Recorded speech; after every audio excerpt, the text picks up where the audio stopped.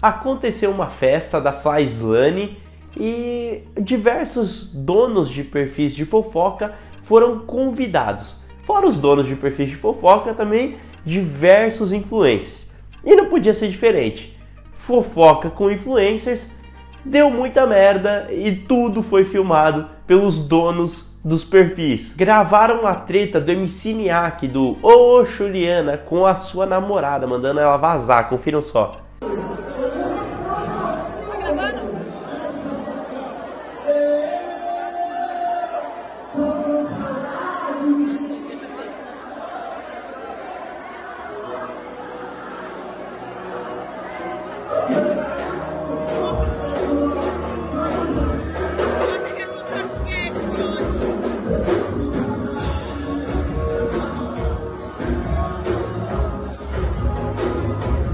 Também gravaram o pedido de casamento do namorado da Fly para ela. Confiram aí.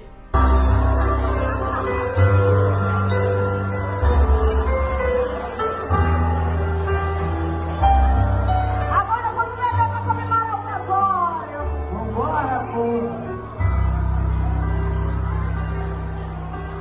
Amor, você era tão tímido. Ah, mano, você não fazer isso não. Meu amor, falou mais alto, sabe? E foi tanta coisa que eu nem me lembro aqui. Se tiver mais alguma coisa, eu jogo aí na tela para vocês agora.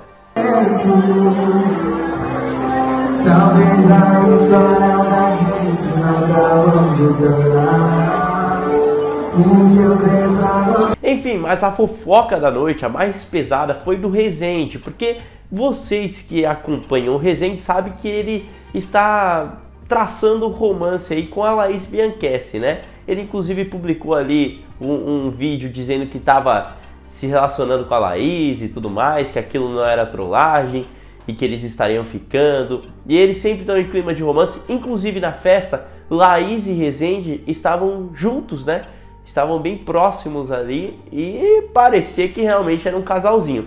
Porém, ao final da festa, houve o que muitos consideraram uma agressão, uma uma traição. Antes de tudo, pessoal, clica no gostei, se inscreve no canal, toque no sininho das notificações e ative todas as notificações para continuar acompanhando os próximos vídeos aqui no canal, porque somente cumprindo esses passos o YouTube entende que você está engajado e te envia as próximas atualizações. E aí, rolou um beijo entre Rezende e a Erika Schneider, que é ex-bailarina do Faustão, e caso você não se lembre, ela estava em A Fazenda agora há pouco, ela foi uma das últimas eliminadas.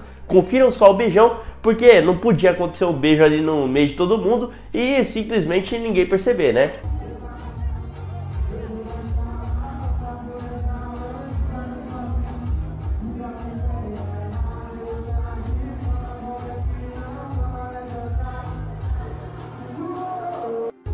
Inclusive nós temos esse beijo em vários ângulos, porque não tinha só um perfil de fofoca lá dentro, tinham vários, ou seja, todo mundo filmou. Confiram assim aí os diversos ângulos desse beijo. Confira aí.